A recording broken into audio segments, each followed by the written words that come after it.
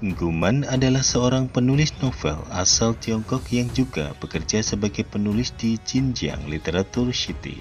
Guman dijuluki sebagai kura-kura sebab ia dikenal lambat dalam memperbarui tulisannya. Hanya ada beberapa web novel yang telah diterbitkan, sedangkan sisanya masih belum tamat. Beberapa karya populer Guman telah diangkat ke dalam film ataupun drama China. Berikut empat drama China yang diadaptasi dari novel karya Guman dan mendapatkan kesuksesan besar serta turut mengangkat nama bintang utamanya menjadi selebriti populer.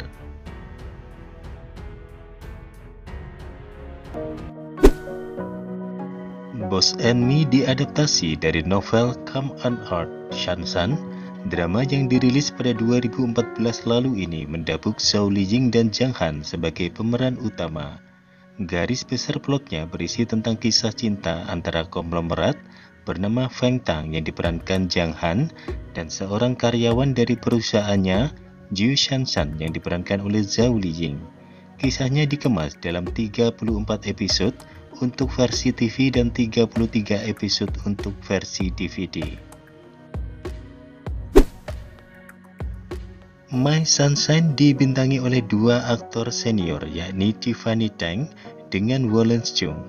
My Sunshine yang mengudara dengan 32 episode menjadi salah satu hit pada 2015. Drama yang diangkat dari novel Silent Separation ini menyajikan kisah CLBK atau Cinta Lama Bersemi Kembali antara Zhao Mengxiang yang diperankan Tiffany Tang dengan He Ji Chen yang diperankan Wallace Chung.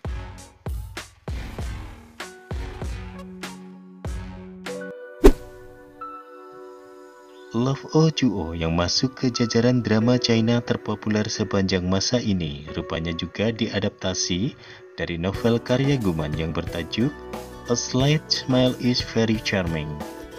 Love O Juo dirilis pada 2016 dengan 30 episode ini dibintangi oleh Jiang Jiang, Zheng Suang, Zheng Zichen hingga Zhang Bingbing.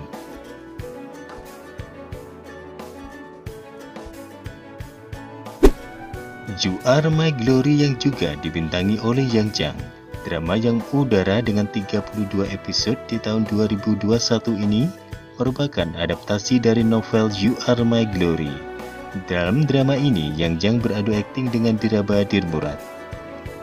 You Are My Glory menceritakan tentang romansa antara insinyur luar angkasa serta ahli game bernama Yutu yang diperankan oleh Yang Jiang dan selebriti bernama Xiao Jingjing yang diperankan oleh Dira Badil Murad.